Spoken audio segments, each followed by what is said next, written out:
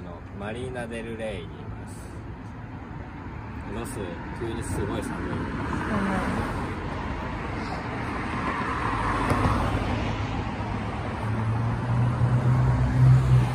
なんかちょっと今日は今日のモーテルは紹介しなくていいやって思って先にチェチェックインしましたらなんか俺の部屋だけ変な作りになってたからちょっと紹介したいなとやりました。はい。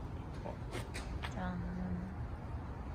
すごい駐車場小さくて。ね隣もなんか今見たら面白そうなものがある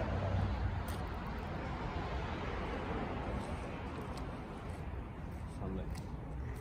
いきなり寒くなってびっくり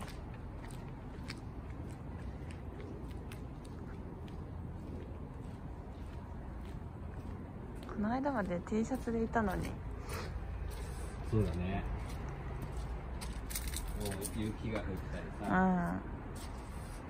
変だここです。じゃあ。もうその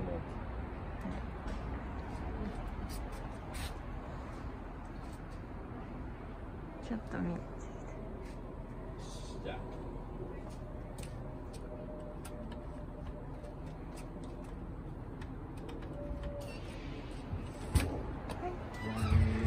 じゃん扉がちなみにここまでしか開かない。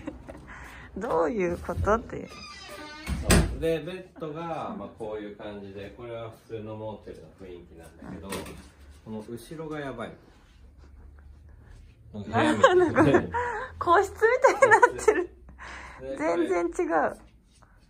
汚いソファーがあって、はいはい。本当はここさすごいいいのにさちょっと座りたくないよね。なんかうんそうまあこ服のままここが座りたいな。まあいいけど。うん。うーん。なんかちょっと微妙だね。まあでも冷蔵庫もあるし。本当に小部屋みたいにこの カーテンとか閉めたらだってね。面白い。まあトイレと風呂はこんな感じで。シャワーカーテンがちょっともう落ちてきちゃった あれ多分突っ張り棒じゃない？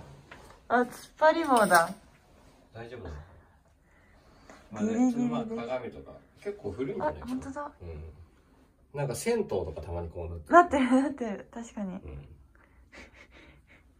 でこれだ。これ。これあがよくモーテルで使われる石鹸なんだけどめちゃくちゃイカ臭いです。めちゃくちゃイカ臭い。すっごい薄っぺらくて。うん。見た目もなんかイカみたいな見た目のかな。今日はモデルも早いから12からはい。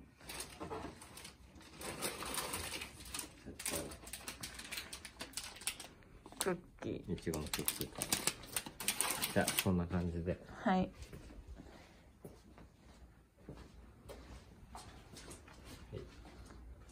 ささよなら